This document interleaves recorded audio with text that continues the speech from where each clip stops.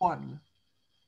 Now, there are many areas of the world that I've looked at with my seminars, lectures, talks, or whatever you want to call call them over the years. But I have never presented anything to do with Japan. And and I'm and to be honest with you, I, I don't know why, because I've had links with Japan over the years. And I used to have a very good friend called Yoshia Ueda, um, who used to visit us on a regular basis about 20 years ago. And he used to come along to the excavation and we used to chat with him on the phone. And he used to love Wales very much because of the trees here, because he saw uh, Wales as being very similar to Japan. And whenever he, whenever he'd come and see us, uh, he would always bring gifts. And there's there's one gift that I've, I've got with me that uh, uh is is tied onto my bag. It's something that actually his wife made. It's this and uh, so I've kept this with me, and it goes with me everywhere. Yoshi's no longer with us. Uh, he would be about 90 now, and I think he may have been. Um, I think he may have been involved in the Second World War at some level. Well, he would have been at that stage. So, the area of Japan we're going to look at is quite a, a wide area in time. It's called the Jōmon culture of Japan. Now, when we look at periods in time or cultures or anything, they usually last for a thousand years, a hundred years, and that's it. But the Jōmon culture in Japan lasted over 10,000 years. And it's a, it's a rather intriguing period uh, within the Japanese landscape and within Japanese consciousness. And I, and I um, endeavor to look at far out other areas of archaeology that I've never looked at. Um, um, last night we mentioned the um, Scilly Islands. I thought, yes, I've got to do a talk on the archaeology on the Scilly Islands. So, so let's let's crack on with this. So I would like to look at a chart, and it's this chart in front of us. But whilst you've got this chart in front of you, and I'm just going to double check you do have a chart in front of you, don't you, Keith? Yeah. Good. The beginnings of the Jōmon culture. The end of the Ice Age coincided with the closure of the Paleolithic era. So here we go, 15,000 years ago. So everyone get their pens out. 15,000 years ago. That's the end of the Paleolithic period in regards to Japan. It's a period that they're developing their microlithic culture, small um, obsidian flints, chert, chalcedony tools, which you find across the whole of Japan. And this takes us back to 15,000 years ago. 15,000 years ago, 13,000 years BC, 15,000 years ago. It's rather interesting that when you when you look at 15,000 years and you think of when our ice age ended, because the Paleolithic period, um, the end of the Paleolithic period coincides with the end of the ice age. So if we want to look at the end of our ice age, that's 12,000 years ago. So our ice age ends 3,000 years later. So in other words, we're going to be 3,000 years behind Japan, whatever way you look at it. Because with the receding of the ice, this is when humanity and civilization takes over. Now, one question that I had a couple of weeks ago when we were looking at Peking Man, and I've got the details here, is that um, it was asked what are the earliest hominids in regards to Japan? And the answer is I, I knew the answer. I said, we've got the remains of Homo erectus in Japan. I was able to answer that straight away. But I, I sort of thought, you know, Homo erectus in Japan maybe 200,000 years ago or something. But it dates all the way back to nearly 400,000 years ago in Japan. So we've got Homo erectus in Japan. So that makes this this whole start of Japan very interesting because the same problem is that we get the Homo erectus disappear. They, they all jump into the sea like little lemmings. And then suddenly the ancestors of modern day Japanese um, go over to Japan on the land bridges from the north and the land bridge uh, over the island chain towards the west, all the way from China.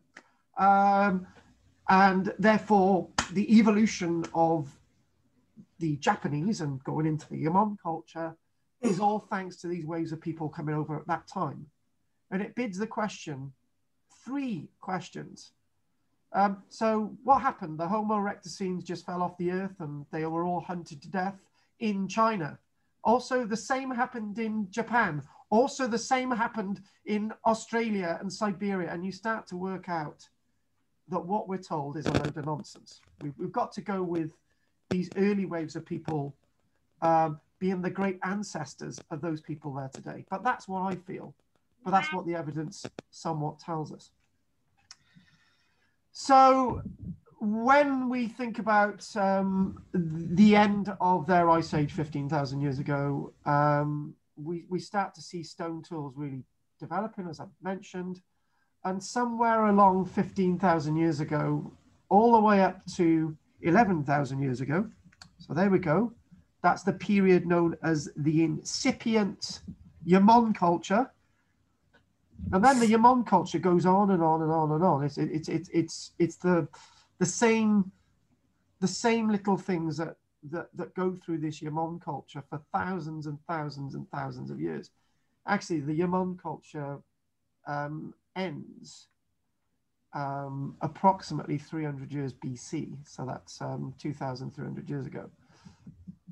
The reason why I'm talking about the importance of this one period, this really, really long period, is that when you compare this with Britain, for example, you've got the Stone Age, you've got the Neolithic, you've got the Bronze Age, you've got the Iron Age, oh, and you've got the Romans for AD 43. So you've got these, these individual periods, but they're really distinctive. Really distinctive things happen. This Jōmon culture distinctive things happen, but they've got pottery very early on. So you see pottery traced all the way through. Right? Not it's not the same when we look at our cultural development. If the word cultural is the right right word to use. So when we get when we get um, really we start around this um, really we we look at this incipient period here this incipient Jōmon culture um, and then somewhere around 11,000 years ago, uh, we've got um, rapid global warming or climate warming, we should call it. Global warming's a more modern term. And what we do have with this 11,000 years ago, 9,000 years BC, what we do find is vast swathes of deciduous broad-leaved forests. Uh, and you've got the oak trees of various strains of the oak. Um, and you've got the chestnut. So chestnut tree, you've got the walnut tree as well, um, and various other um, creeds and types of trees going out there, um, which is, becomes widespread. So in, in, a way, when we become disconnected as an island, what happens is that uh, our landscape gets swamped by trees as well. But like Australia, like many island domains, there's um, a, a, rapid rise in water level, um, inundation along the coast. Um, and there's lots of sedimentary deposition um, across the landscape of Japan due to um, heavy rainfall forming the terrain. Um, you've got rich rivers, you've got rich seascapes, nice word, and this sort of develops this this land of the Jōmon. So what it would be good to do now is just look at this little bit of a chart in front of us and then we'll go through to uh, this initial period. We'll go through to the early Jōmon period, uh, which is ends in 5,000. I hope everybody's taking notes of all this and the reason why I'm hoping everybody's taking notes of all this because this is important um, when we're actually looking at the artifacts and the sites. When I say uh, this sort of initial period, 11,000 to uh, 7,000 years ago it's good to know where that is, and you, it's good to equate that with our own history and archaeology, our own timeline. And in many ways, um, even though the Jōmon culture is thousands of years in advance of ours, you can see little areas of development in Japan that we, we see here. Um, you know, when we look at pottery development in a way, um, we, we look at um, um, structural development and so on. So this this coming into 15,000 years ago, sometime around that, we've got lots of stone arrowheads and lots of stone implements, lots more of those microliths. Um, and then we start to see pottery. And this is rather interesting because if, if, we, if we think about pottery and we think about the development of pottery in our own country, we're not really getting pottery um, in our own country until about um, seven, 8,000 years ago at, at, the, at, the, at the earliest. So you've got pottery developing in, in Japan 15,000 years ago. Or maybe that's a bit early, but it's in this incipient period of the Jōmon.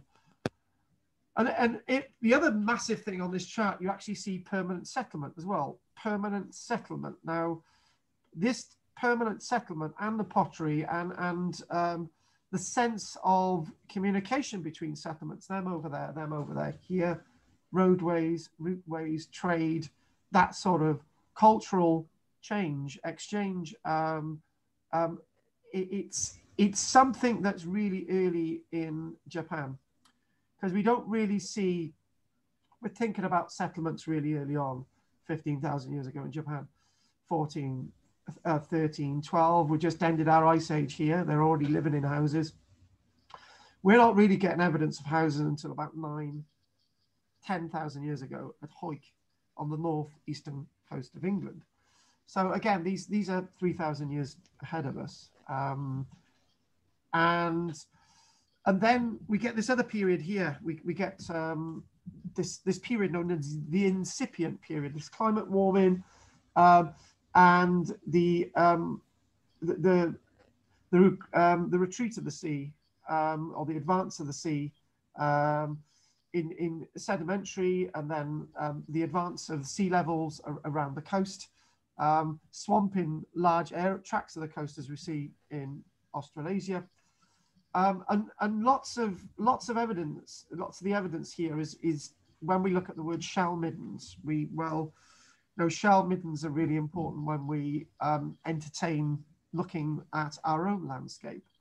And this this these shell middens in this initial period actually put us more or less into when we're getting shell middens when when we're getting when we got shell middens 10,000 9,000 8,000 years ago in Britain we got something very similar when we look at the Jōmon culture in Japan um, and and then we excitingly enough um, 7,000 years ago to 5,000 years ago we've got cylindrical pottery cultures formed, advances in pottery, and the numbers of settlements increase. So this, uh, the point here, numbers of settlements increase, the, the complicated nature of settlements, i.e., you know, almost townships and so on developing, townships, temples, burial, whatever, shops and plazas and so on. We don't get anything like that in this country up until about um, just before the just before the Romans invade Britain we've got development of of um, small towns, um, pseudo towns developing before the Romans get to Britain. But this isn't until around the birth of Christ. We're, we're looking at proper sort of cultural um, trade centers um, occurring here in Japan 5,000 years before us. So it, it's, it's very different, di very different. Um, but in no way do I want to say that um, you know the Japanese are better than us or we're better than the Japanese or anything like that. What I'm trying to do is is is a cultural look and and see a different area of archaeology, a different area of history. That's what I want to introduce to you today. Um, and look at this really interesting thing. I had to I had to um, I had to do a bit of research into the lacquering process of of pottery. They used to lacquer pottery, and they used to actually lacquer wooden bowls um, and the lacquering is basically using um, resin, which is coming from um, a, an oak variety of tree. Um, and they lacquer that over pottery or they lacquer that over um, wooden bowls. Well, a wooden bowl might have rotted away, but more or less this amber coating is still on the outside. It's, it's, a, it's, it's usually a red sort of lacquering color as well. So thousands again, thousands of years before we get anything like this in the West, lacquering. It, it's it's a very very advanced glaze. Well, we're not really glazing our pottery at this time, five thousand years ago either. So we've got very crude pottery. So um, so then we go into and, and also at the same time on on the right there you'll see another column, um, and it's basically saying this sort of early Jōmon period. Um, you you get the, the, the birth of Chinese civilization, um, a Mesopotamian civilization starting to think um, and starting to be and starting to be aware. So, but these are, are multi-regional um, developments of civilization. And there are there may be trade links between the two, but they're not influentially massive on each other they're they're determining their future rather than diffused all the way from one point. Everybody, everything evolves out of Africa and all that nonsense, right? So it, it all determines its own environments. This is how Japan's going. It's got the conditions to go this in this direction. You know, when when the chancellor says we got the conditions to do this now, well, well, we back then, because they've got all these things, they've got the conditions to go forward in their civilization. Um, and in many ways, when we see mainland China and we look about gunpowder and all the rest of it, I know this is thousands of years later, developing anything like this before us, you know, it's determined from a local locality, and this is how the minds think. It's it's that old adage, isn't it? If we put a load of monkeys in a room, eventually um, together they would write the complete works of Shakespeare. Somebody said that if you put a load of monkeys in a room and they were typing, eventually after 20 years they would complete the complete works of Shakespeare. Don't know what I don't know how true that is. Probably not. But what I'm trying what what what that means is that evolution will occur, whatever happens, it will happen and then if, if we look if we look here this this this date 5000 years ago going into the middle of Jōmon if you want to go 5000 years ago middle of Jōmon you've already got Skara Brae uh, and you've got the construction of Stonehenge. You don't have big settlements in Great Britain. You've got pottery. Look at this here large scale hub settlements developed. So in other words um, sort of urban like landscapes, a bit like what we were starting to see in Mesopotamia. and you see this with the Egypt and the Great Pyramids and the Indus Valley. That's another area that we haven't looked at in India. And in this Middle Jōmon period, um, 5,000 to 4,000 years ago, 3,000 to 2,000 years BC, you've also got extensive trade in jade, obsidian, and you could probably jump jump in there maybe early silks and so on. Um, that's what we might equate with the trade links associated with ancient Egypt, because at this time, Egypt is probably into the same trade link that Japan's into. When we look at the dates here, 4,000, nearly 5,000 years ago. So what I'd like to um, quickly do now is this last bit, which seems a bit silly. Look at that there. You can imagine the archaeologists, they're excavating uh, through and they're saying, right, this is, this is the, um, this is the latest period of the Jōmon culture. Um, this is 3,000 years ago. And another archaeologist said, no, you can't call that the latest period. This is the final period. And you've got an argument saying, well, this, this is the late period in the Jōmon. No, it said mine, mine is even more closer to time. You know, this ends 2,300 years ago. So the, the, Japanese have got this late Jōmon period from th this this, um, this date here.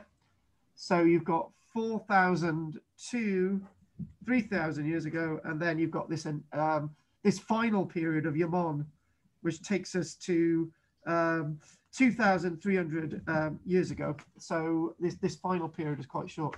So what is what is interesting when you look at the, the way things are developing in Japan is the following. So we go into this late period and it says here, this is what's interesting here. The number of large scale hub settlements seen in the middle period decreases as settlements become decentralized, so stone circles emerge. Now, we've already got stone circles in Britain, so we're one step ahead of these guys. But um, but this thing about this thing, this is really interesting because they've got all these large scale settlements, and they said, oh, we don't need large scale settlements anymore. We'll go to smaller scale um, trading centres, which are uh, which are more advanced than the cities. It's almost as if that's a pattern for modern day civilization um, it's turned out that having big cities is not is not of much benefit these days because you look at what's happening shut down people can't move around cities. If you live in the countryside you're still able to move around and wander around fields. And in many ways we could learn from this in saying that everybody living in cities is probably not a good idea. And these japanese knew this. They knew this 4000 years ago. I don't know i don't know if that's um, that's got any relevance, but you can see that there's something there. And then in this final Jōmon period, we got really weird figures developing, like um, Google-eyed clay figures and clay masks and, and many other tools for rituals are made along with a variety of accessories. And what we do see is a rice culture. They're, they're, now their economy is very much based on rice. Obviously, rice has been within their, their economy for a long time, but, but rice is very much in there. So what, what we, we should do now, this is a Google-eyed figure from the late Jōmon period. And to get an idea, the, these these figures are, are not massive figures. This this isn't a foot in height actually, but this is a, a nice um, this is a nice um, this is a nice piece of pottery, uh, ceramic piece of pottery, and um, this this this itself with a Google-eyed uh, and really advanced form of pottery. And this is in their late Jōmon period. And now we're going to go back. We're going to go back to the beginning. Um, so we've done our big overview of, the, of these charts. So we're going to go back all the way back. Go back. Go back. Jōmon people needed clay to create pottery in shapes they liked. And they learned to make strong containers through chemical changes by applying heat. Now, this is a revolution. And being able to heat your food by boiling it is a revolution. And also to be able to store food is also a revolution. Hunter gatherer people, now we look at the Jōmon as a primarily hunter gatherer people that use that use their their their extensive resources. They're not a massive farming people um, in the early part of the Jōmon. They're very much hunter gatherer, but the difference is they're hunter gatherer gathering, they're boiling and storing their food, um, and they're now leading a sedentary life in one area. So it's hunter gatherer, but sort of staying in one one one site. In other words, and so people were now able to utilize natural resources more widely by boiling ingredients. So in other words, those things over there that you weren't able to eat before, if you boil them down, you can eat them. It softens them, it gets rid of all the acids. You can now eat them. So, in other words, your larder is extensive without leaving your front door.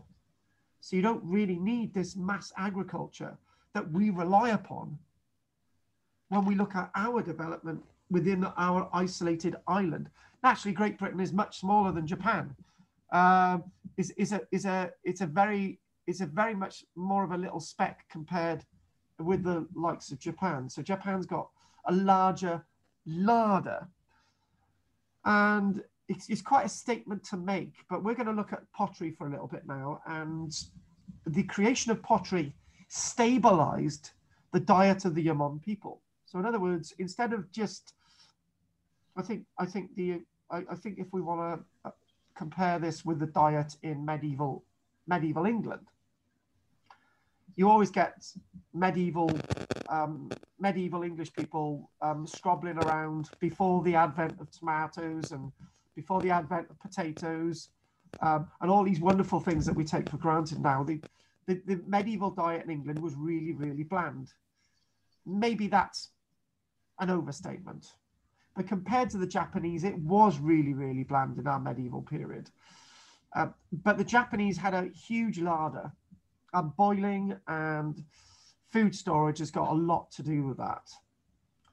So the Jōmon culture itself, we, we look at pottery throughout the Jōmon culture being created for well over 10,000 years, well over 10,000 years. And although there are differences in regional pottery throughout Japan, what we do see is that there are key movements of development of pottery. Now, this pottery itself would be very similar to the likes of Kathy, um, who's handled some of this pottery with me when we visited the um, um, University of Highlands and Islands Archaeology Department, and we've um, you know, we've handled this type of stuff, but that's in a Neolithic context. We're, we get we've got pottery like this in the Neolithic period, um, six seven thousand years ago, uh, but in in Japan they've got this um, 12, 13, 14,000 years ago. This same type of pottery, this pottery. And the earliest pottery was plain naturally, it was quite thick. So the walls of the pottery would be just just un, just under the thickness of your little pinky. Uh, this is how thick the pottery was, really, really chunky stuff. And it's only it's uh, they're only lightly firing at this stage. They're lightly heating it up. So we're looking at about um, 300 degrees C, 350, and that's it. The problem is with pottery like that, it needs to get up to about 400, 450, 500, 600 degrees C uh, to be pottery that, that can last the test of time. So this earlier pottery is, uh, is decaying quite rapidly when re-exposed to water and boiling, but it's good enough for, the, for what they wanted at the time. Now, I can't really go into massive detail, but lots of the decoration that they do see is created by the nail on the end of the finger. So we've got lots of nail designs on the pottery. And we see that using the nail to sort of incise marks onto the pottery. I think that's great that you can see that.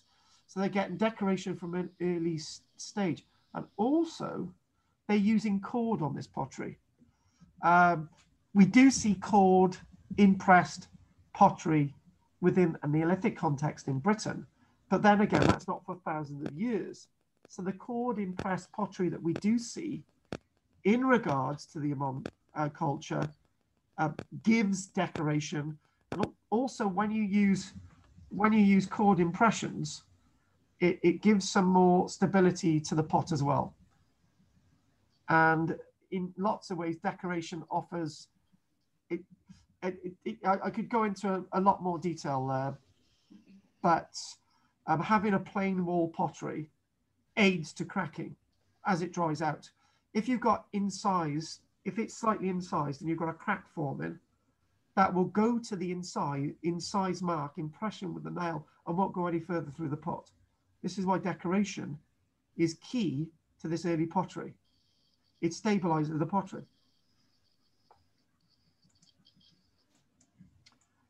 So and you, you can see these these are like these are these are like the types of things that uh, you might find on a footpath outside Kathy's house, or uh, you might find these in your in your breakfast cereal. But no, this is actually pottery.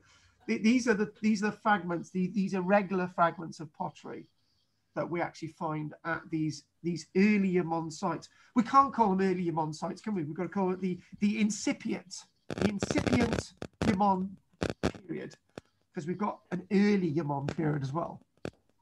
Joe, I, I think you you can work out what's going on with the Japanese, can't you? They, they've sort of they've sort of thought, right, this is all the Jōmon culture. And somebody said, actually, there's a period before the early Jōmon period.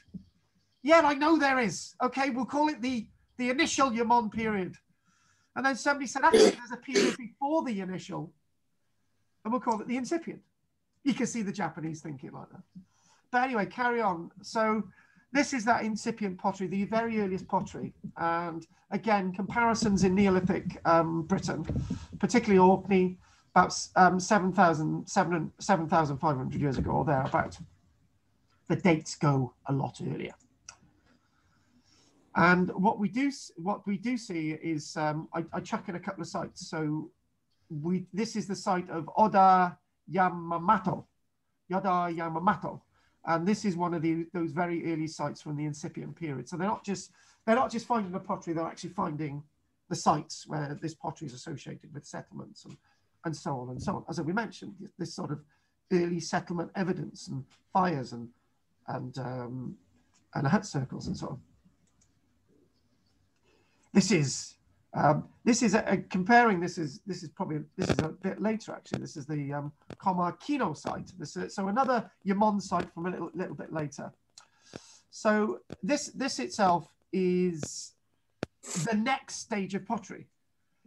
So we go into 11,000 years ago, 7,000 years ago, the initial Jōmon period. And one thing I was thinking of last night after I spent time with Gough I, I was actually thinking, well, when you look at these periods in the Jōmon, uh, they they say so the incipient period in is it four four thousand years, the initial period four thousand years, but the early period is only two thousand years, and the middle period is only a thousand years, and then the lot period is a thousand years. So period gets um, tighter and tighter in time, less less and less length, and it's probably because as as as tech as technology grows that the development periods are less. So if you if you want to compare, for example, the last century, there was a massive development in the last century. We, we've, we've got, for example, cars, planes, space rockets, computers. But if you want to compare the computers now with the computers that were um, in 2000, they are massively advanced. So we've really moved massively on.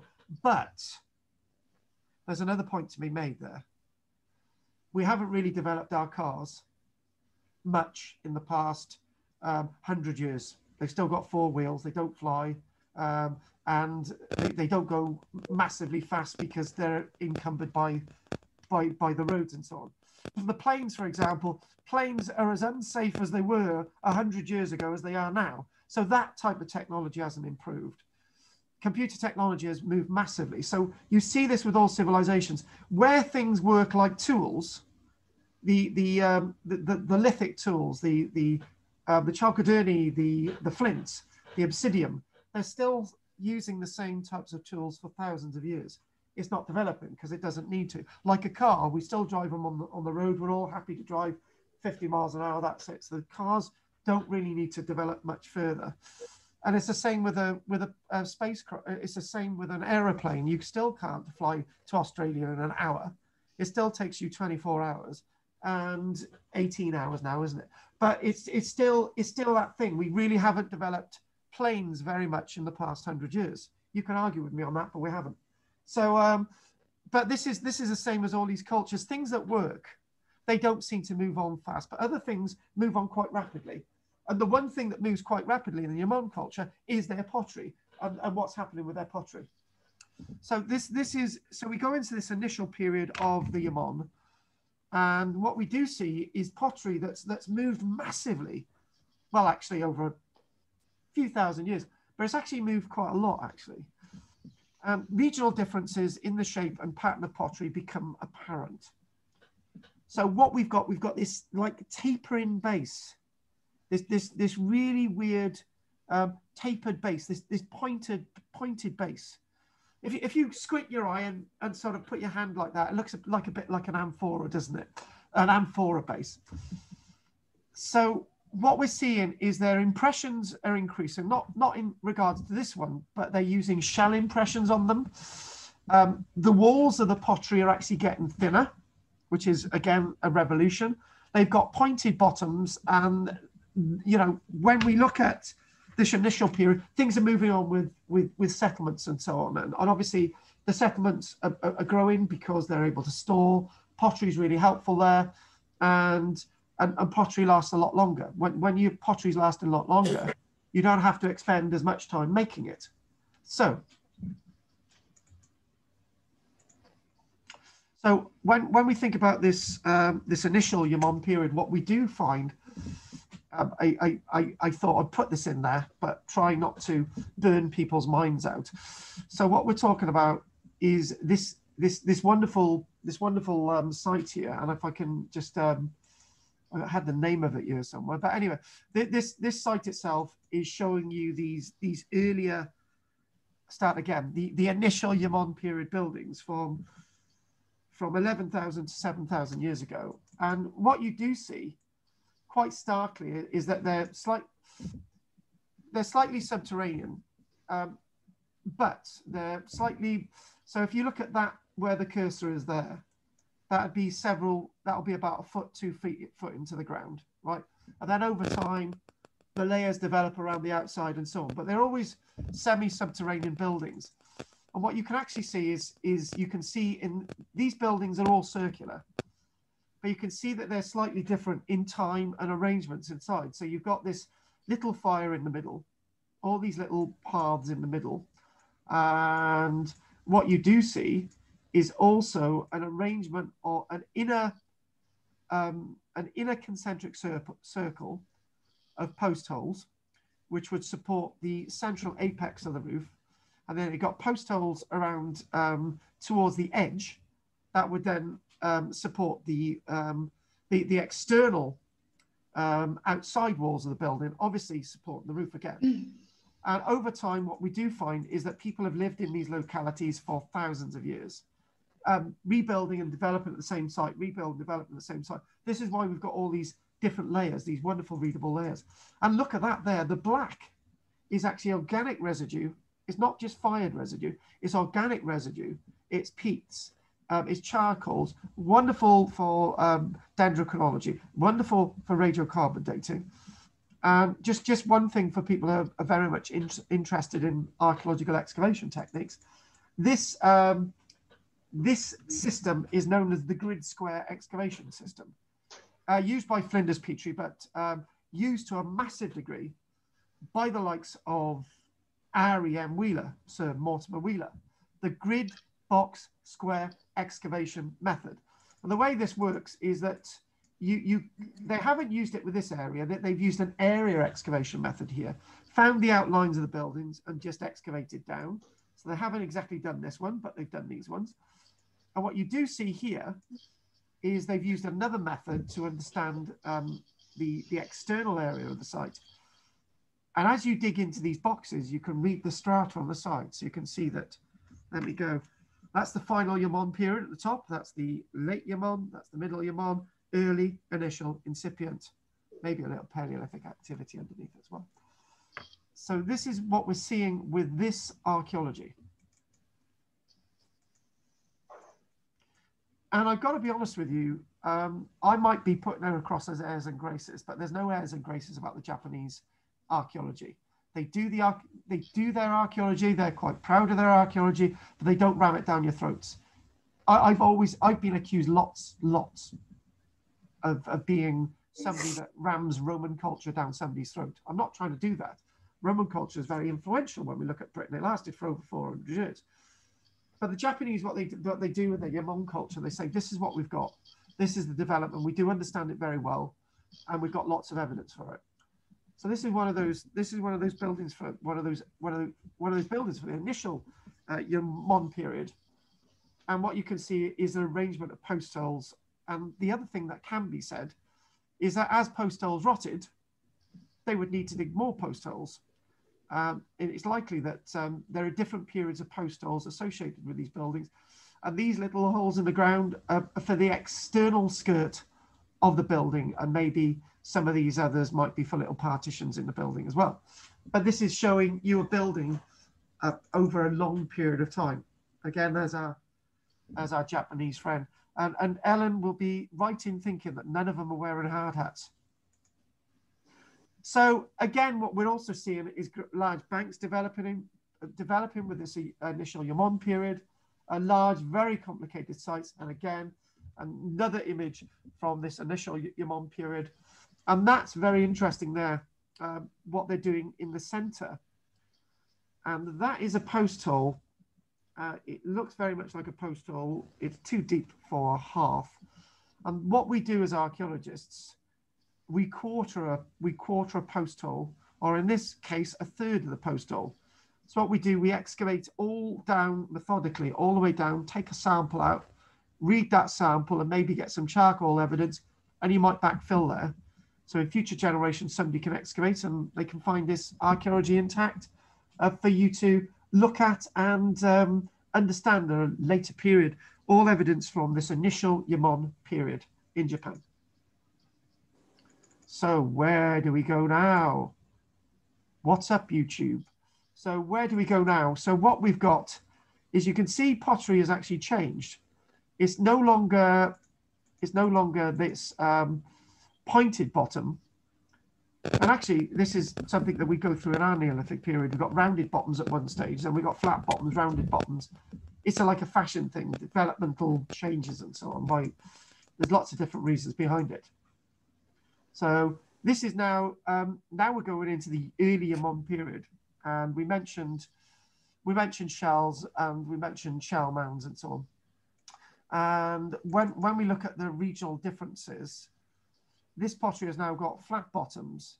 It's known as cylindrical pottery. And there are different cord marks on them. And we and that's one point I didn't make earlier on. Can't exactly see it on this, but you've got these sort of cylindrical uh, type forms and designs on them. But we know that they're using cord to give decoration and design to these because as they've um, as the pottery is set, as it's going off, it's gone green, like just before you put in the kiln, they remove the cord and they're pulling the cord off and it's leaving fibers in the pottery. So not only can we understand the design and what they're using to make the design, we can understand the fibers in the cord, giving you a little bit more evidence to what rope and stuff they're actually using in society. And lots of this, lots of this, um, lots of this uh, evidence of shell middens from this period as well. This is a site known as Kita Kogan, and these, and they've done a little bit of a reconstruction there of a shell mound. So we've looked at the initial period. We're now into the middle period. Now, the middle period is from 5,000 to 4,000 years ago. We're not producing anything like this in Britain until uh, the Romans are here. We're producing nothing like this. So, if you're thinking that they're producing this up to 4,000 years ago, this is 2,000 years before we're producing anything like this. And there's something really weird with the pottery. It's the number four. You've got one, two, three, four handles. One, two, three, four handle type spout things. One, two, three, four. It's the number four, not the number seven or the number three, the number four. The other, the other word to actually use is the applique design. Applique is not only a, a, design that you can see in the arts and crafts movement in the 1920s and the 1930s, Applique is a, a way of creating little incised marks on the outside of the outside of the the pot as it's as it's going green. So you might get a little bit of a stamp in there. That's that that could be classed as applique, but typical applique is when you get a little bit of bamboo and you actually make little marks in it, little sort of chevrons or little dot designs to sort of make it look really ornate. This cylindrical, this wonderful cylindrical pottery and this classed it, the exact word for these sort of four handle type things on the side um, is the four waves. That's what my notes call them. They're, they're, they're, four waves on the pot. So this is a very interesting period of development and different areas of Japan at this at this time across this Jōmon world um, in the middle Jōmon culture has different designs regionally. So you can actually see, you can get an idea of trade. I don't know if any of you uh, what about when I did my my lecture on the likes of the Nazca people in different areas of the Nazca world a thousand years ago in South um, South America and Chile along the Andes. uh, different areas of the Nazca had different pottery, and they might go on a pilgrimage to a location with their pot, and they might smash it on one of those uh, one of those Nazca line sites or whatever. But different areas are distinctive um, in the Nazca culture for the different types of pottery, and it's the same can be said for Japan. Different designs for different areas. This this is this is again when when you've got this middle uh, you've got this middle period things are starting to change, things are starting to develop in their, their society. And, and look at this now. What we're finding is that they, they've got these buildings with very large post holes. And the one thing that must be said now is that these large post holes indicate one massive thing that the buildings are not single story, they're multiple story. Also, these post holes might indicate basement areas, they might indicate buildings that can that are above ground if there's flooding or tsunami. Uh, it also indicates that having different levels, uh, you can have. Um, you don't need as many buildings out there. You don't need a large sprawl urban area. So the urban ways are going now. You've got these small individual settlements again that are self-supporting. They've got everything. Starting to think about a more agricultural sedentary life and we do look at a, a few reconstructed um, illustrations coming up. And also the one best way to look at this is, is the strata. So you might say that if we want to draw in here, you might look at that, that from the first stage of the building and then a second stage of building here and a third stage of building there, a fourth stage, five stage, and so on and so on. So what we've got, we've got different stages of development this building, but always do we have a slightly subterranean building with these large post holes driven into the ground, particularly in this middle Jōmon period. It, uh, it would be so easy for me to get um, lost in the Jōmon periods. Um, and what they've got here, this is a site of Ufu.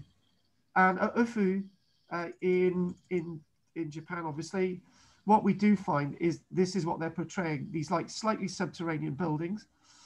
And they so they've got some post holes in here demonstrating that. And then they say, right, what we've got, we've got these post holes. We, we develop these post holes in, in here, may have floor levels.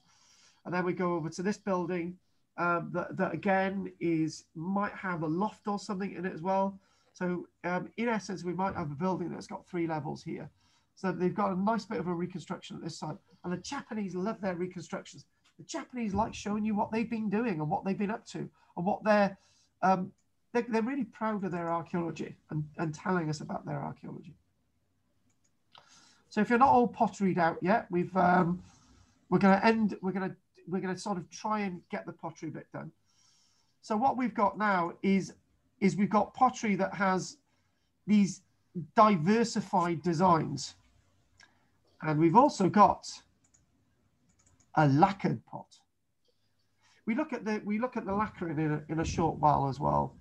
Uh, I've, I've, I've got a little thing I'd like to show you on screen about lacquering. And you've got this pottery here that's being fired at a very, very high temperature. This pottery um, is known as a reduced form of pottery.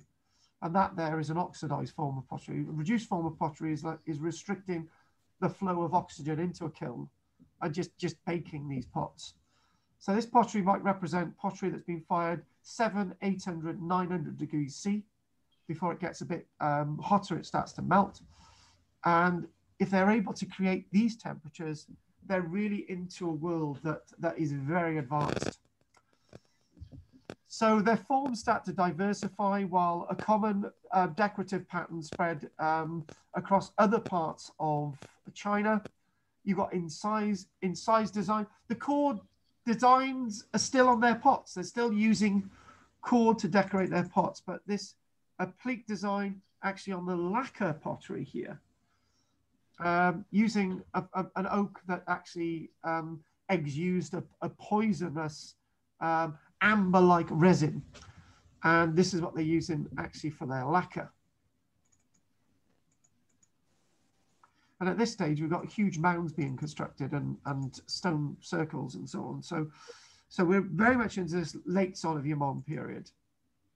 And they've got very large sites occurring. So if you want to have an analogy with this. This is something like the great mound builders of Mississippi or something like that, but that's coming a bit later as well. Uh, and, and, and, you're looking at this and you're thinking, well, that chap there he's obviously got a, a military um, Japanese uniform on.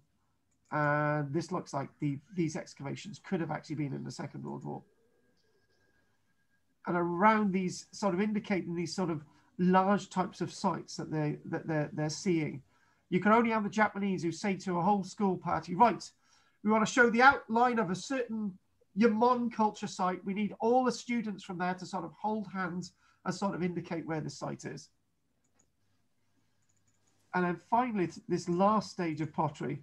Some of these types of pots look very similar. That, that could be nicely at home uh, on a late Iron Age Roman site. Um, and this sort of, this, this, all, all, these look sort of very Romanish looking. And this goes all the way up to about 2,300 years ago. Elaborately decorated um, pottery um, made in the northern um, Tohoku region and southern um, Hokkaido region of Japan. It shows quite a contrast to the austere decorative pottery made elsewhere, but there are lots of lots of advanced forms of pottery. They really love their pottery at this stage. And so what, what we've basically done in the pottery, the incipient pottery, the initial pottery, uh, the early uh, Jōmon pottery as well. So we've done all these charts as well. And remember, by the time we get to the final Jōmon pottery and the lots of the advanced pottery that we've actually seen, um, you're going to use these naturally to store rice and and and actually you, you, your ingredients, your ability to cook, and your lifestyle and your balanced diet is is very advanced at this stage. So, what I'd like to do next is I'd like to quickly um, quickly mention about this sort of uh, late period where this sort of final Jōmon period where you've got these rather intriguing sites and those people that you've just seen um, were in a field showing the outlines of this site. So very, very interesting area. Uh, and this itself is um, indicating an individual site, a stone circle site associated with this final Jōmon period and what we do have is hearths around the outside, middens, uh, pit structures, housing, all the rest of it, associated with these with these late sites. Very interesting, strange dynamic things going on. And what I'd like to do now is is actually introduce the next area of this seminar. So hunting, bows, arrows, and stone spears were used for hunting. And lots of their designs didn't change for thousands of years. And there's another point to be actually be made there. And I really wish I had a drink, so we're going to have to take a, a break in a moment. We um, we look at this, and I say that you know the, the the the types of arrowheads that they're using remain very similar throughout throughout the Jōmon period. There are changes and advances and stuff, but because they work, the design doesn't change. But what they're bringing on is actually bone hooks and sort of bone awls and and well, you see all that with our culture as well. Um, now, if they had come to uh, bronze and iron and copper sooner and all the rest of it, the um, they would have still kept used these um, chert, flint, um, obsidian arrowheads. And the point I'm trying to make is when you go to a lecture about British prehistory, they always say, right, on the 15th of October at um, 1215 in the year 2100 years BC, suddenly they had bronze and they stopped using flint. That's nonsense because we've got flint arrowheads seen to be used um, in an archaeological context into the Roman period. So arrowheads are still being used in the Roman period in Britain and they're probably still being used much later as well. So these things, um, it, it's it's it's an assemblage, a seriated assemblage of culture, cultural artifacts that continue to be used, less and less flint being used um, as different tools develop, but they're still being used throughout the Jōmon period. And it's the same when we look at um, the British prehistoric period as well. So bows and arrows were used to safely capture game from a distance. Fishing gears such as hooks and harpoons were also developed to catch fish and shellfish. In addition, dogs were kept and plants were cultivated. In the Jōmon period, people obtained food mainly through hunting, gathering, and fishing because it worked. If you're able to build a great house, um, live in a semi sedentary life, and you don't need to extensively go into agriculture, hunting can be something that you can do for a very long time over many thousands of years. Stone arrowheads, there, our lithics, and more advanced forms of lithics as well. Look at these. Um, stone spears, stones arrow, stone arrowheads, different forms, different design for the Jōmon culture. It's going to be probably very difficult to date, date some of this from one Jōmon period to the next because they're the same types of designs actually being found. And you might actually use something like this um, you might have a, a, leather gauntlet and you and you might actually toss something over. This could work that way, or it could be all of these could be mounted in a in, uh, hafted in a shaft or something like that. So all these designs throughout the Jōmon culture. And we'll what we'll do, we'll have a bit of a break uh, now. So what you've got, um, these people have got access um, to all the animals that they hunt. Obviously, we've mentioned that the animals, um, the, the animals uh, they hunted included deer, boar, and hare, uh, which were captured um, using their hunting weapons or may have been captured in pits.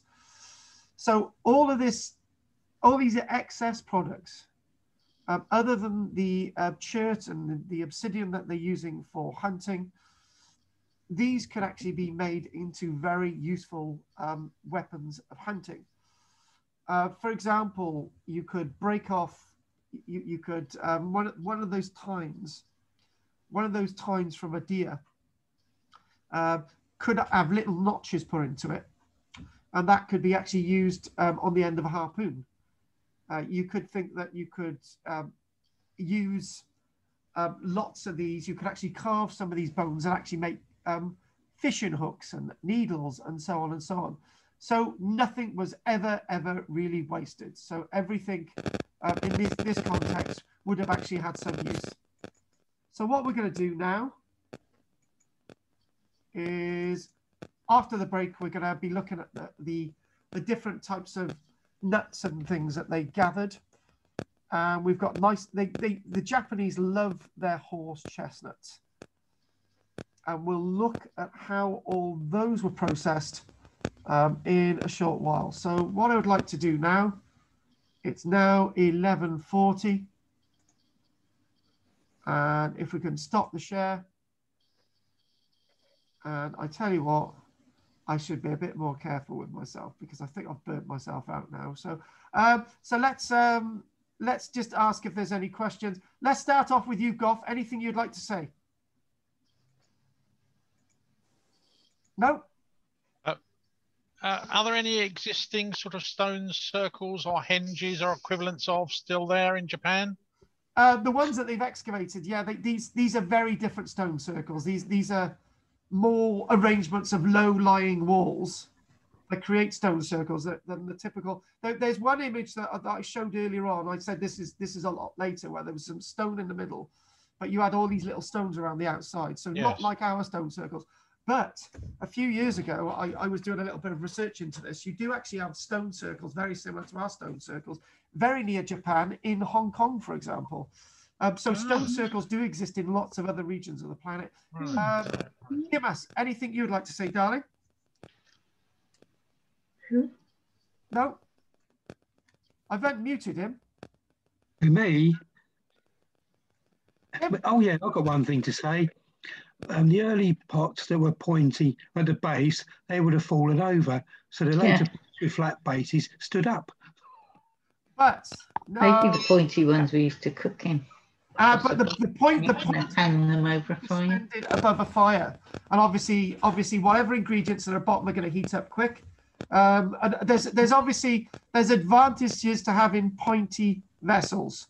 Um, and yeah, you are right. They would fall over, but obviously, if you're suspending them from a fire, um, there are other Mm. ways of storing. You might actually store them in uh, store them in straw, but there are advantages having pointed bottoms. Pointed bottom vessels are stronger. If you ever had those little um, cod shaped bottles with a little um, uh, little marble in them, we used to try and break the bloody things. Yeah, like- Yeah, yeah, yeah, like ginger beer bottles. yeah, exactly. The the uh, milk bottles, the average milk bottle, all you need to do is tap one of them and it smashes and goes everywhere. Pointed bottle. In a pointy bottle. So, so Look at Jamie an Babe, ice. It in the ground as well. Uh, who's first? And they're being stored in the ground as well. Easier to store in the ground, and and obviously, if you've got a It would tapered be bottom, cool, they're easier to take. Yeah, I suppose, they're easier yes. put out You have to dig a little hole. Or sit it in sand but it or would also keep yeah. it cool. If it's in the ground, it's keeping it out of the sun and things. Yeah, exactly, exactly, exactly. Um, so Just have what a hole in to your table. Oh, they're holding. Oh, shut up! Get away from this. Right, right. I'm going to mute a few of you because I get a bit of crackle. And we'll come back to Karen and Kathy in a minute. Jane, anything quickly? No, interesting though. Yeah, very interesting. No questions. Uh, Chrissy Babes. No, not at the moment, thanks, Karl. Uh, Chrissy, Chrissy's been to Japan uh, to a bordello and she doesn't want to tell anyone about that. Talking about bordellos, how's your bordello, Pam? Anything? I love the pottery and I'm looking forward to the lacquering bit. When you Ah. can speak a bit more on it, please. Yeah, I've got I've got a little bit more on that one. I, I've deliberately thought people are going to be interested in that one. The lacquering. I've got um, a Go on. pottery friend on Facebook. He's in Japan, but I can't think of his name at the moment. And I've got another one in South Korea, Sung Ho Lee. He does a lot of teaching. He's just been doing some lacquering with wood ash. Me, me, me and Keith know Sung Ho Lee quite a bit. We've we've met him. Uh, Oh, you haven't. yes. I, I, Sung I did have Japanese neighbours for a while. yeah, exactly. Um, I used to watch Neighbours. he's I still do. Right, Ellen. Talking about Neighbours. Ellen, what is it like today in um, Estradoin? Are you having a nice day? She's I not was talking. talking earlier about that um, round-shaped vessel with four spouts. It might have been if four people were sitting around and you could just tilt it to tilt any liquid out or something. Or, or one of those bloody puzzle jokes I from know thousands of years- thousands of years later there was the Japanese tea ceremony and that, but um, I did wonder at the time whether it was for tilting and pouring. And there could be there could be lots of reasons. There could be lots of the four wave pottery. That's what they call them. Um, Andrea, before we go on to what Kathy's got to say. No. No, I've got no more to say. Um, and uh, I should have said at the beginning, Mena San. So, um, but be- before and also um, before I say Emma Sugodo Quarado, which means break now, um, Karen and um, Kathy after Is NHE Nisa you all and go after five go. Right. I only want to comment that in those photos of the um, excavations, the majority of the archaeologists seem to be dressed head to toe in white, which I would have thought was quite impractical. Uh, well, they, they are Japanese, and I'll just leave them there. Do- do you know- Perhaps, perhaps they're like forensic suits, you know? Yeah, They don't uh, That's No, right. they had on like it was like a proper suit. They they didn't look like overalls. No, they, they did. It's, it's the Japanese. I, I, I can remember that my, my friend um, Yoshi Oida, when he used to come on the excavations, all, all the uh, female volunteers hated him because um, he used to he used to get them to. Well, one one day he, he, he got all these girls to to carry this um, this really heavy generator that we had on site. And he, and he was just going like this. He was ordering them about with with his helmet on. I'm boss. It was really funny. Um, but the Japanese are a bit like that. They're, I, I, they are really nice, but um, they, they don't know when they're upsetting you. Um, and, and Kathy doesn't know when she's upsetting me either. Kathy, anything you'd like to say now quickly? Well, just applique, Right, I, I'm, actually, not applique.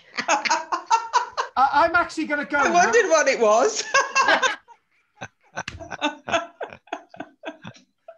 Yes, I, I, I, I, I, I gotta be honest with you. My head shamed with embarrassment. I, I'm actually, I'm actually going to have a break now. I will speak to you after a knob.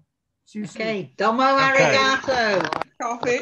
I thought Chris didn't say anything. I didn't understand what it was, Kath. I thought it was some new technique I hadn't heard of. Technique. And and I'm going to have to. Actually, I'll just have water, thanks. Yeah. So we'll have a Too much coffee is. I do love my coffee. pause three. I think what I'm trying to, to achieve today is to look through over 10,000 years worth of history. And by doing that, it's just to give a bit of an overview. I was given a book on the Jōmon culture about um, nearly two decades ago. I was given it as a review book for Archaeology World Report. And I thought it was absolutely fascinating because the Japanese were excavating these sites and then they were reconstructing them and and and other than that I knew very little about the Jōmon culture but it's very useful that we go through this nice little chronology as we're doing today. So the first image that we have in front of us um, shows you um, shows you excavated artifacts, unearthed chestnuts, walnuts, and seeds of cultivated plants. So obviously the cultivated plants are over there on the left. I do believe that the uh, walnuts are there on the right, and then we've got the chestnuts. And this is archaeologically excavated evidence. So we know what they're eating, we know what they're boiling, we know what they're they're digesting. And in my description, mountain vegetables and nuts such as chestnuts, walnuts, and Japanese horse chestnuts uh, were an important source of food for people at the time. And obviously, um, pine nuts as well, and all, the, all that sort of available bounty that's out there that the hunter gatherer leading a sedentary life, actually a set life, but not fully into agriculture, is able to sustain um, an economy, um, but not have to go to the extreme of um, agriculture that we've gone into, i.e., cutting down all the trees and uh, just planting and planting and planting. They're using their natural larder and understanding their natural larder. The chestnuts do um, uh, do have a bitter say, taste, but when the bitter taste is removed, um, when they've been soaked and processed and, and so on, they can easily be eaten. They are also suitable to be stored and preserved. Uh, Japanese horse chestnuts um, should be soaked in water to remove the bitter taste, and the remains of watering places for it have been found. So, in other words, uh, they, they've got um, areas where they, they've been soaked in water. You, you've got the process, you understand what's going on. This is what they're eating. It is thought that they also ate mushrooms. And this is a strange one. I, I'm just trying to get this in my little bonds here. We've got evidence that they ate potatoes. Now, I'm just trying to work that one out, to be honest with you. Um, Potatoes. um, yeah, yeah, exactly. I heard that there. And other root crops. Hard nuts uh, were used after being crushed and milled with stone pestles, grinding stones, and stone plates have been found, which we're going to actually look at now. So we're going to look at more of these unearthed uh, chestnuts as well. All archaeological evidence. So the archaeological evidence doesn't lie. The chestnuts, there they are. And um, and it's it's in the detail actually, rather than trying to put the detail onto it. What I mean by that is that we we find so little evidence in our period that we're talking about here with the Jōmon that we've got to guess. We've got to really guess what they're eating, and um, and all we've got is containers that we might actually find some lipid residue or something in them, and, and that's all we've got. But the the the evidence that we see, and this isn't a pun, is very bountiful. Their larder is very bountiful in archaeology. It's that they've got many more jigsaw pieces to their puzzle within the Jōmon culture than we could ever dream of. But we do find intriguing sites like Skara Brae 5,000 years ago, and then must farm 3,000 years ago that, that, we, that we seem to catch up a little bit more. But the overview is with lots of these Jōmon sites, is that they're very bountiful in evidence all through the periods. And um, I, I, again, I, I, I thought this this intriguing thing about that they come up with the early, middle, and late, and then they added the final, and then they added the initial and the incipient. I absolutely love that. It's almost as if the Chinese thought, right, a Japanese, they thought, right, there's a lot more to this Jōmon culture, so we'll stretch it this way a bit more, or that way. But lots of the lots of these lots of this evidence that you can see in front of us and, and this this is the point I've already made. The point I've made is that you get you get some stone pestles, you get grinding stones and stone plates as you've got in front of you. All of these things that we see in our Stone Age, and we see them in our Bronze Age, and we see them in our Iron Age. Again, with our periods, with the Jōmon period, if these things work, you don't need to change the design. They might look simple, they might look basic, they might look like things that have been used 10,000 years ago, but they're okay for purpose and they do the job. One of the one of the other areas, uh, one of the other areas, we we're, we're looking at a period where you've got layers and layers of this evidence, and it's not less interpretation, it's actually management of the archaeological resource that the archaeologists had excavated in the first place. Now, I know, I know some of us are, are going to be really linked to this image, but I'd like to just um, make sure that I can get on to my other stuff here. So fishing.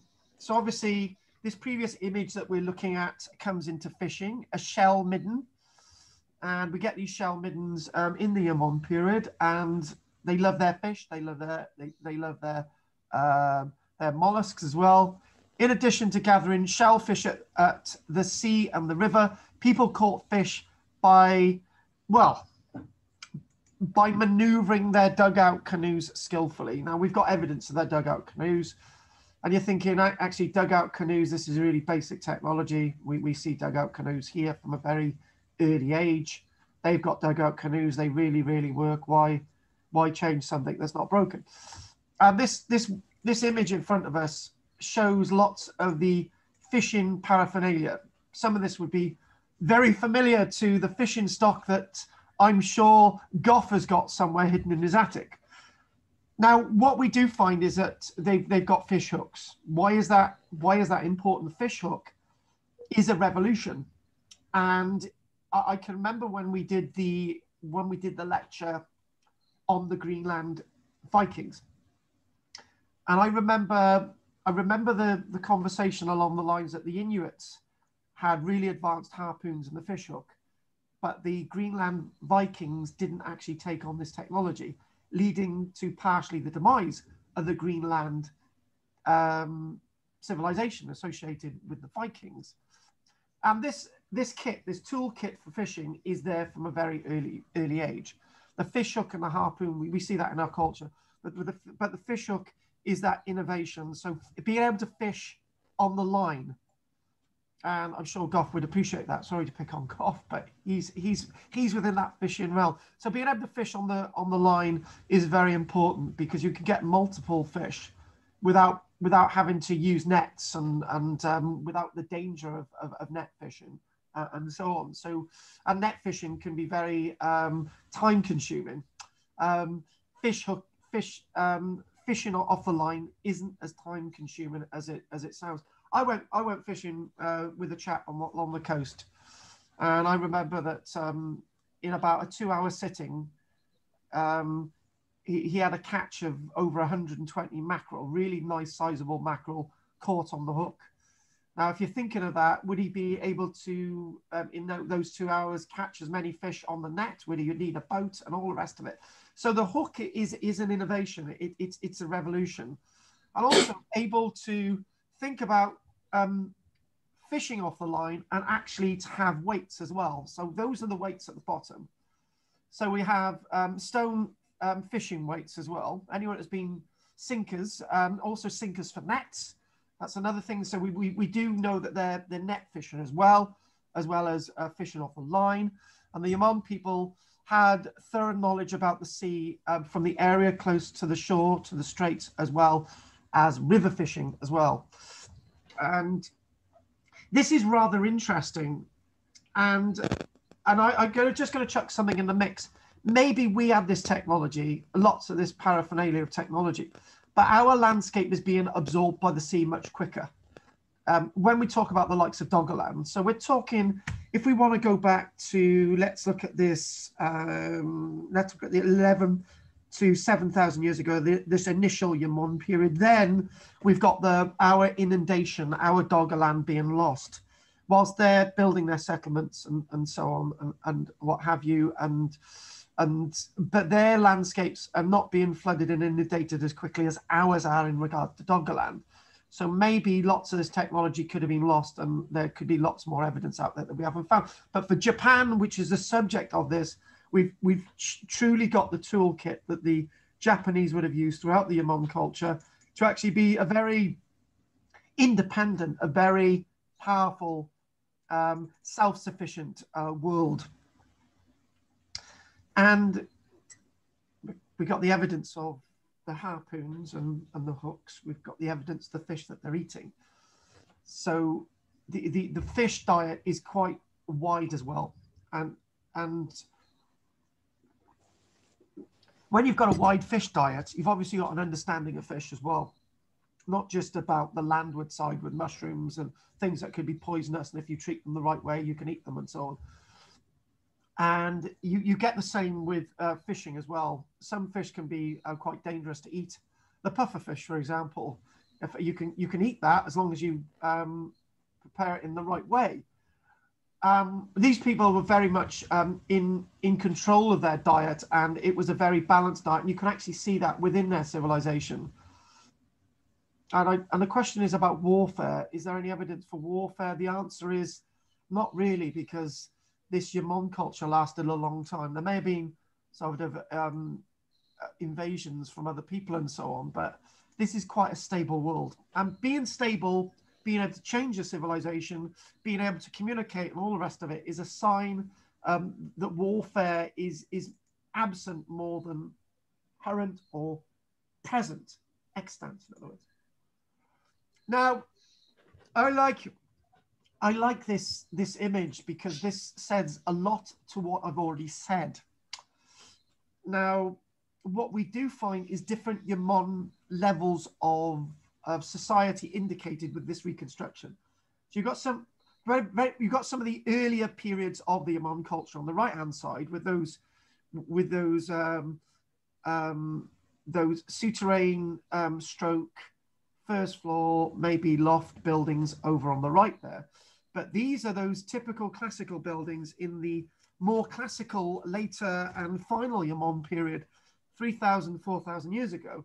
These ones that you actually get, um, uh, you almost as if you've got a subterranean um, level. If we zoom in on this a little bit more, we got we've got a bit of a subterranean level, and then you've got sort of this this undercroft, and then you've got a first floor, and then you've got um, you've got a second floor and maybe a loft as well. Story buildings, story buildings. Now we're not getting story buildings like this until the advent of the broch that we did last night in the lecture, and we're coming there. We're bringing them in about 500, 300 years BC. So we're getting these story buildings. The story building is is is another innovation. Um, levels, impression, um, some of these buildings were the tallest buildings that these people would have ever seen, um, several meters in height, a number of meters in height. And the ability to have everything, you could keep the animals underneath, you could keep some supplies underneath. If it's stormy, if the landscape gets flooded, you're several meters off the ground. That, that building there uh, is about four or five meters off the ground. So you need to have a really good old flooding for your house to be taken away. And these are massively thick timbers. And the other point to be made as well, a really a classic important point, with getting really large post holes in the ground that I that we've seen in these later Jōmon periods, tells us that there's lots of trees still around. They're not raping their landscape as we constantly rape and destroy our landscape even today. I'm very much somebody who actually hates the idea of the um, HS2, and we're still ripping out that, that our trees. we with the Japanese, they, they, they've got the habit throughout their culture, throughout their civilization, throughout their world to be able to live alongside the natural environment. And you can see why that is. That's that's way in their Jōmon culture. That's way in their consciousness. And it's that sense of respect. It's not all about agriculture in, in this period of the Jōmon. It's more about being connected to the landscape. And this is what happens.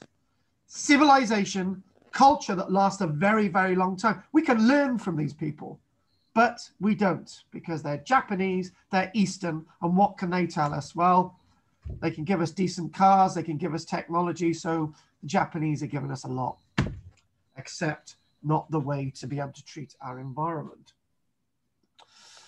So, so obviously this, this nomadic sedentary life, they're still sort of hunter gathering at long periods in time as their sites develop throughout this whole period. We look at um, villages, dwellings, um, roads, rivers, traffic, um, all the way across this extensive landscape, these hub villages where you, you get um, you get smaller you, you, get these hub villages and you get smaller and smaller villages and everything's in, in um, everything changes and they need to do this and all these different things happen um, so and i think uh, you know you typically see these see these films about japan and you see these weird these weird tower type structures towering up. Um, and you think, what the hell are these? Well, these types of structures on the left, whatever they're for, ceremonial, ritual, um, meeting places um, to show out over the landscape and so on. And these people were obviously not scared of anybody because you wouldn't you wouldn't say, "Hey, look, I'm over here, mate. I don't want you to kill me, but I'm over here." So it, it's and and what you don't actually see great defenses around these sites either. The defense itself is the building. Um, and that sense of communication and intercourse with with with the landscape. So we, as we get later and later, we start to talk about large buildings um, with thick pillars, as you can see, mounds used as ritual spaces, particularly 3,000, 3,500 years ago. Stone circles, as we've mentioned, we had a little bit of discussion about that um, slightly different from our stone circle sites. And we'll see what one of the stone circle sites looks like. Should we, Keith? Go ahead. Bingo. That is a stone circle. Mm. You can see the difference. Um, now, if if I was to do, you know, we, on a, on a Wednesday evening, we do comparisons of archaeological sites across Britain. So if I said, right, let's let's compare stone circle sites with Japan, you'd think, looks nothing like a stone circle, but that's a stone circle to somebody in Japan. So, so it's a ritual space, and and that sense of ritualistic space is very important.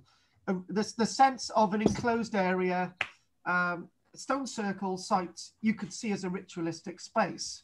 A ditch around the outside, a wall around the outside, no stones in the middle, um, wood pillars, and, and these types of sites everywhere across the world uh, the, the, the outline of the space, whether there's a way in or there's not, is actually um, is actually the, the space. So say, for example, um, I, I work from home now, and I've got a little um, I've got a little office area in, in the big back living room, and my my my uh, stepchildren don't come into this this area. Michelle doesn't come here to tidy up either. This is my space but there's nothing stopping them coming in. So the sense of ritual is everything to everyone, and there's loads of different ways of interpreting.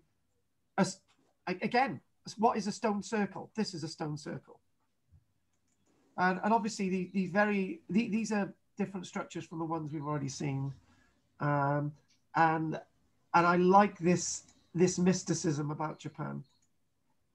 I, I there, there was um, there was a program that me and Michelle watched religiously at the beginning of the year. Was had James May in it, and he was looking at Japan, and uh, and you look at this and you think they, they, they're very different, the Japanese, but then again, we can learn so much from them. So what we're one thing, one thing that with every culture is you've got life, living, trade, pottery, um, food, um, religion, and death, the afterlife, graves of the Jōmon people. Uh, Jōmon people were buried in pit graves. Some were buried um, in pits, others graves of adults arranged in rows, different ways of being buried. Now, the word buried, are buried, inhumation.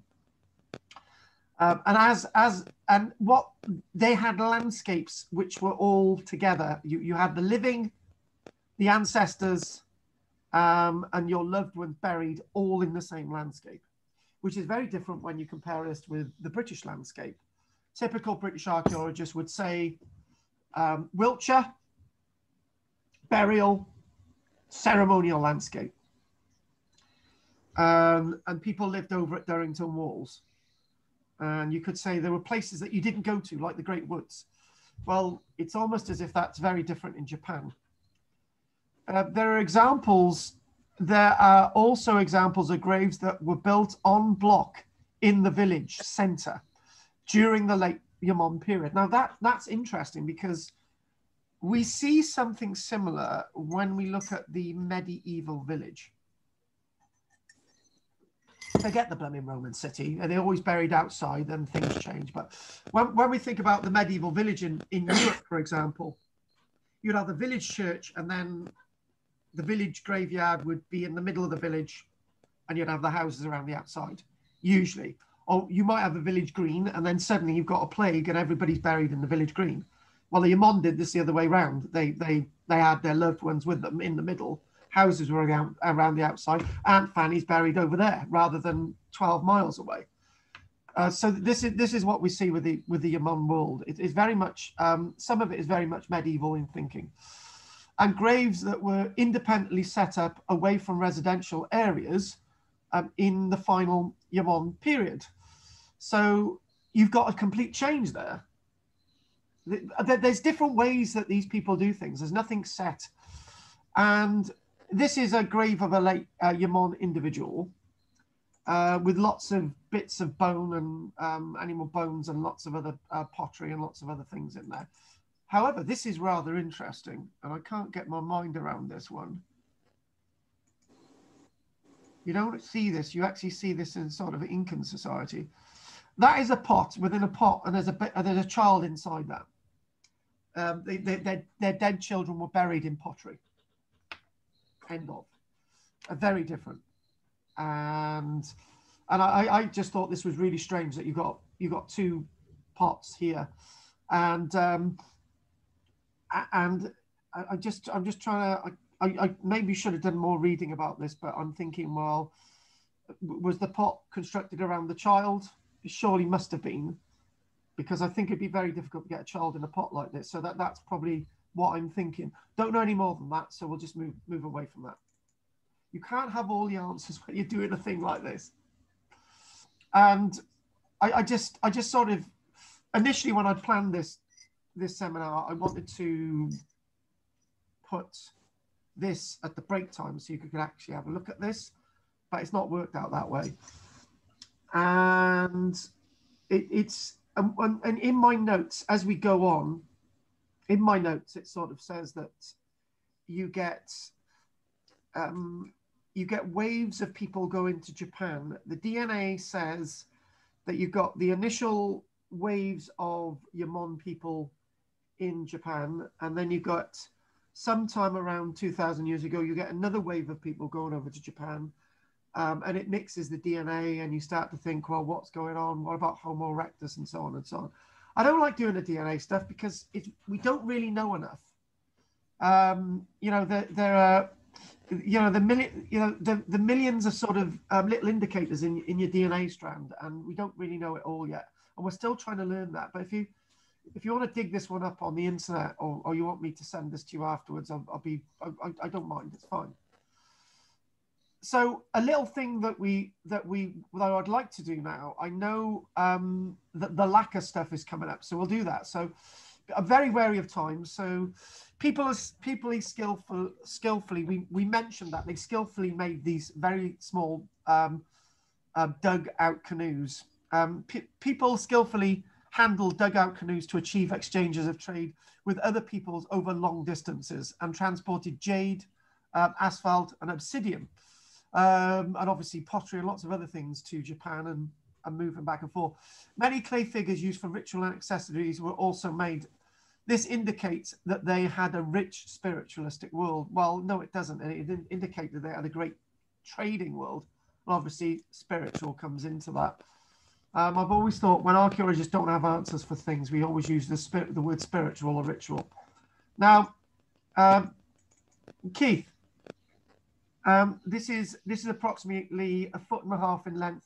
What could this be? Ooh. And it's made of made of whale bone. Uh, a woman's corset. Nope. One more guess. You're way off. Is it a weapon? Yes. A boomerang. No, it's a A weapon. boomerang. Give, give that man, give that man a card. It's a weapon. This is actually a whalebone sword.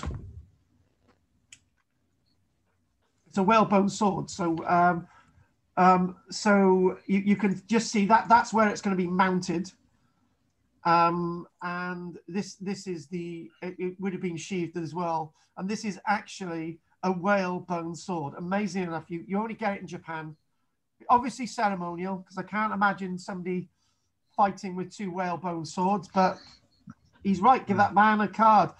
So these are actually um, these are bracelets made of white lined bittersweet. Now I had somebody look at what bittersweet was, and um, we did actually work what this was. But that's your homework for next week. This is bracelets of, made of white lined bittersweet. This is what these are bracelets. That's your homework for next week. I know Kathy's going to jump in and she says, I know the answer to this one. Now, these here, um, as I mentioned earlier on, these are your um, obsidian, um, your lithic um, arrowheads, um, and your spearheads. So these designs are used throughout uh, the Jōmon period. They're, they're designs that work very similar to the stuff that we've already seen, the chert and the flint and so on. So these are obsidian. Obsidian is volcanic glass, and um, obsidian glass usually stays sharp. Don't do something that I've seen somebody do. Take an, obs- an obsidian object and go like this, and oh my god, I just slipped my hand open. They, these remain sharp. They are they are basically glass at the end of the day, volcan- vulcanized glass. Um, and I'm going to show you something else really weird. Right, here we go. Let's chuck it in there. They had tablets. These are footprint tablets. Um, now, I don't think these were worn around the neck, but they, they were tablets with footprints on them, um, with little impressions on them as well. Impressions of feet. Now, I, I, th- these, these are children's feet, but they're not exactly the types of things you'd wear around your neck. They're quite big. And if we, some, some of these are over a foot in length, so they're, they're quite big. And look at that as well, an ornamental comb made of deer horn. Now, I think somebody somebody made the mis- I, I think I'm not sure when this was. Somebody said, "Oh, that looked very Viking," and I said, "No, it's it's definitely a Jōmon ornamental comb." Um, this this dates back. I think this dates back about seven or eight thousand years ago. So look how refined that is. You you would Mm. find this on a medieval site, um, eight hundred years ago. This is thousands of years old. Great, love it. So they were really interest. They were really interested in their um, in, in their portrayals and, and requiring these these wonderful items. Now we've mentioned rituals and rites. Um, we get lots of very strange clay figures like this. Now look at that. Um, some this this is in a museum, and what they've done, all the bits of figures they haven't put together. You've got these little heads and faces of of of these clay figures. Many remains of religious and ritualistic items um, whose purpose has not been identified have been found. Now we find this in lots of cultures. Uh, Kathy and I, when we've been to Orkney in in Skara Brae, they've got these round balls, spherical balls, which have been carved, and you don't know what they're used for. And in lots of cultures, we've got these things, and you start to think, well, maybe they just did them because they did them to confuse future archaeologists. Um, so shapes of people, animals, and sword-like stones. So you, it, it sort of comes into telling us a little bit more about how they may have looked or what how they perceive themselves looked at and what they were actually used for. We don't know. They were religious, obviously. Um, these are thought to have been used in rites for fertility and safety at hunting, memorial service for ancestors and prestigious goods. Or they, they um, if we move on a little bit further, they look like the types of things. And, and this, this is, I, I don't know, they, they, these people actually had children. They did actually have children. And you're thinking, well, did children actually you work in the fields all the time? Did, did they actually were they actually children? Did they actually play like children? I tell you what, fox clubs uh, play out, you know, and then bear cubs play. You know, why can't human beings play? And then you look at this other thing, and you start to think, well, um, don't these look the type like the types of things that you'd give children to play with? So they're not ritualistic at all. You know, it, it it's almost that thing as if if in in societies in the past we're, we're always like that. We're also in one channel. We're, we're in one direction. I think the word is anal. We're, we're going in one direction. And then when you actually look out and you start to think, well, they did have children, and maybe these were objects for children to play with. These, these ain't big, vast things. These are the types of things which would have which would have fitted in children's hands. Little, little, um, little, um, little earthenware mushrooms, for example. Um, an earthenware doll there, and and um, I think, um, did we say that that was, um, uh, yes, a, a, pottery sword? Well, you know, I, am thinking children, yeah, I'm, I'm, i definitely am. Is, is, is that what coming into your mind? And then there are these objects that actually answers. Um, we, we, we've only got we've only got um, a little bit to go then after this, but lacquerware and wood pro- products. Now, I, I look at this and I think if anyone gave me this, I would immediately think this is actually Incan. It's got it's got that sort of Incan design to it. it has mm, got that mm. shape. It looks very Incan, but it's not. Um, lacquering, which had been established around the early Jōmon period. So go to, to the early Jōmon period. Let's talk about 7,000 to 5,000 years ago. Lacquering um, is an integral technique that shows the advanced skills of the Jōmon people at the time. So this is lacquering. Um, this is lacquering on pottery. Um, coloured pottery, lacquered coloured pottery, and it is typically red. And I'll tell you why it's it's red in a short while. I've got a little passage I want to read out, which is here. So move on a minute. Um, so lots of the bowls are lots of the bowls are actually formed from chestnut uh, trees, and it's describing the, the the chestnut tree is indispensable for the life of the Jōmon people. Not only good for building, um, uh, the chestnuts themselves, an important source of food, and you know bowls, and then these could be lacquered. So the posts used for building, containers, tools, sticks for digging, and fuel. So the chestnut tree was very important. Also, chestnut trees were very important for bowls that could then be lacquered. And if, as we do the description in a moment, uh, we've got some more of the red lacquered pottery. And again, I'm looking at this and squinting my eyes and getting in there and thinking, bloody hell, that looks Incan. So particularly the one at the bottom there, that really looks Incan. The, the types of, and it really looks, and this this yeah. is actually being produced 7,000 years ago. Amazing. Well before the Incan or the Mayan civilization, well before anything in the West. And this is so early. And I, and I, and I see there was some notes telling me somewhere that that Japan has the first for lots of things, not just the lacquerware. They they've got the first for you know um, story buildings. Um, they got the first for pottery and so on and so on. So this is why we had to do all this. So so back to sometimes Wikipedia is useful. I thought right, where can I get a nice concise thing on lacquering? And I thought bingo, Wikipedia.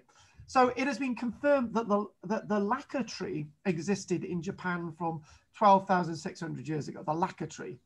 Interesting. This was confirmed by radiocarbon dating the lacquer tree found at um, a shell mound at uh, and is the oldest lacquer tree in the world found as of 2011. Now, the lacquer tree. Um, and it goes on. It goes on to talk about the poison oak sap. So, uh, the lacquer was used in Japan as early as nine thousand years ago during the Jōmon period. So that's actually earlier. That's in the. That takes us into the initial period, actually. Evidence for the earliest lacquerware was discovered at the um, Kakinoshima um, excavation site in Hokkaido. Um, um, I think that's the North Island. Um, you got the South Island, North Island, Japan, probably the other way around. These objects were discovered in a grave in, in a pit grave, dating from um, the first half of the initial Jōmon period. That takes us takes us about ten thousand years ago. Actually, it says nine thousand there. Lacquering technology may have been invented by the Jōmon. Well, give it to them for God's sake. I can't see any other lacquering anywhere. They learned to refine poison oak sap. So this is what's given the color, and this is the, the, the sap itself, the amber that they're using to coat. The process taking several months to build up the layers. Iron oxide, again to give it color. Cinnabar, cinnabar, uh, mercury sulfide were used for producing the red lacquer as well. Uh, as as the as the pigment that's that's being seen in the oak sap is all put together to give that sort of red lustre lacquer, lustre lacquer, yes. Uh, lacquer was used both on pottery and on different types of wooden items. In some cases, burial clothes for the dead were also lacquered. So lacquering is being used for lots of things, including forcing Goff to yawn. Many lacquered objects um, have turned up during the early Jōmon period. So that's into what we're talking about. This is when it's big um, 7,000 years ago. And um, so this, this tells us that lacquering was a massive part of Jōmon culture. Experts are divided on whether um, Jōmon lacquer was derived from Chinese techniques or invented independently. Um, so, oh God, let's not give it to the Chinese. So let's look at this as being, let's look at uh, Japanese um, lacquering, Jōmon technology, developed independently in Japan rather than being introduced from China as once believed. So two different ways. Let's give it to uh, the Japanese. Don't know the evidence in China. This looks absolutely brilliant. So uh, moving on to my next. So obviously looking looking more about the lacquer in here. So not far away now. Um, I've got some couple more images. Let's go on to them. Here we go. Now, this is where it gets a bit confusing. So, physical characteristics of the Jōmon people. Now, I'm, I, I, I thought about this, but I thought I'd chuck it in there. Now, a typical Yayoi face. Now, the Yayoi culture is the culture that comes after Jōmon. Precisely 300 years BC, um, I won't do the usual thing on the 14th of October at 5.15, but suddenly somewhere along the line, the, the Japanese have basically said, bang, Jōmon culture, Yayoi culture. Um, and you're thinking, I, I, I, I'm struggling with that. You've got this, the Jōmon lasting for a long time. Maybe their facial characteristics developed, um, developed anyway um, into um, the characteristics on the right. And it, it's a bit like, it's a bit like this thing that I absolutely hate. When anyone mentions the Celts, I get really upset because I get upset because it's nonsense. Because um, it's almost as if saying the Celts came over from Europe, killed everybody, and suddenly were the Celts. Nothing like that has ever happened. Nothing like that happens in history. Even even with the diaspora of the Second World War, when we got the, the wiping out of gypsies, um, Slavs, um, uh, Jehovah's Witnesses and Jews in Europe. We still got all those races in Europe, and, and that was ethnic cleansing. So um, it's very difficult to do that. So I, am just thinking, well, Yayoi was probably a development from the Jōmon people. But read what my notes tell me. Um, the average height of a Jōmon person, and I've done this, uh, was um, 60, 62 inches. So just over five foot. Um, and then the average height of the Jōmon woman was 58 inches, um, around um, five foot in height. So these were quite short people. It is thought that they had they were quite muscular though. and had fairly sculptured faces like the ones on the left. Like I can't, I'm struggling with it, but you can probably see this in their bone, bone structure. And this will be very interesting for our wonderful Ellen. Teeth with cavities have been found. It is thought that Jōmon people ate much starchy food. A great number of whipworm parasite eggs have been unearthed, and this finding indicates that Jōmon people must have suffered ab- abominable, abominable pain. Can't get it out. Deformed ankle joints have also been found on the skeletal remains of the Jōmon, suggesting that they probably often sat down on their keels or squatted. But to be honest with you, I, I thought Japanese and Chinese people do that even to today. So what the the last real thing is that we've got this little chart. And I just like to make two little statements at the end here, and that, that'll call it a day, day, day nicely. Jōmon culture and world history. Worldly wise, two, two sections. Since the earliest known pottery, which exemplifies the beginning of the Jōmon period, has been unearthed, um, it is now thought that the earliest pottery was created um, here in Japan. The earliest pottery that we find on the planet is in Japan. Over 10,000 years ago, 12,000 years ago. It's there. It's there. Rice cultivation um, began in China and somehow it got over to Japan. Um, but it probably it probably didn't develop, develop properly until much much later. But um, five six thousand years ago, we, we, are getting um, rice in Japan, and what what we've what we've probably got is we've got millet as well, and we've got coarse cereals um, shortly being introduced into Japan. And what we also see as well is that this culture, if we want if we want to put this up against, so so by by the um, early Jōmon period, you've got um, you've got roads, uh, you've got buildings, you've got their tools, uh, you've got the settlement in diet, you've got pottery and trade and so on and so on.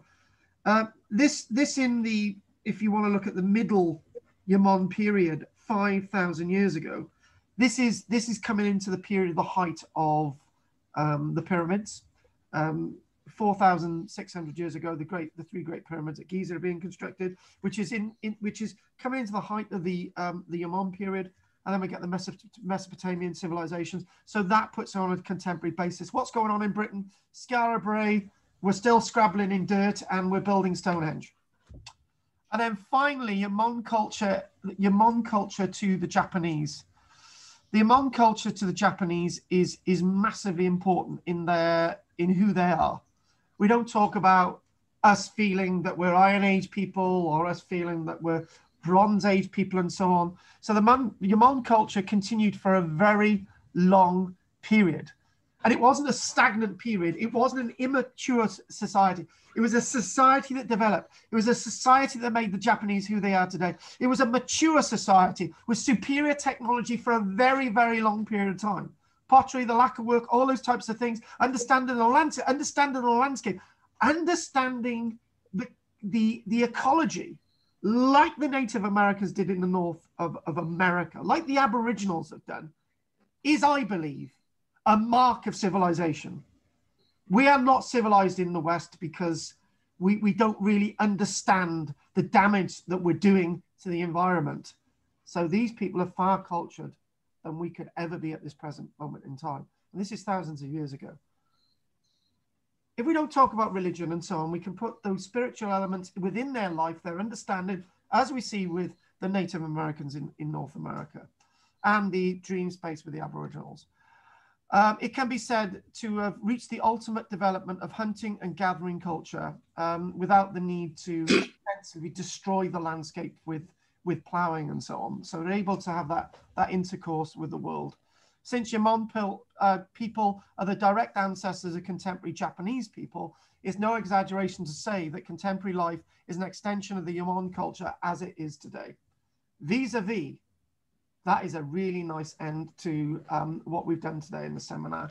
And I'd like to mention quickly before we have questions, keep them brief um, because I've got to be well finished before one. And next week we're going to be the, doing the temple buildings of Malta. So anything you need to say now, keep it to um, one question and um, let's. I know that's going to be difficult for Ellen and Pam, but we're just going to give it a go because I know Goff needs to go to the dentist. So, um, right, Goff, anything you'd like to say quickly? No, no, very interesting. Not very often you go to the Far East. Uh, So it was great. Thank you.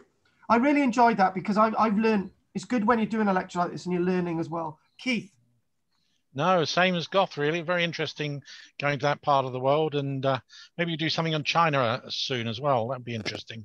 uh, Yeah. I, I, I'm thinking that I, I, it's in there, but there's so much I want to do. Uh, Jane, Yeah, no questions. I was just thinking what a shame it was that Dennis wasn't with us to tell us a bit more about it.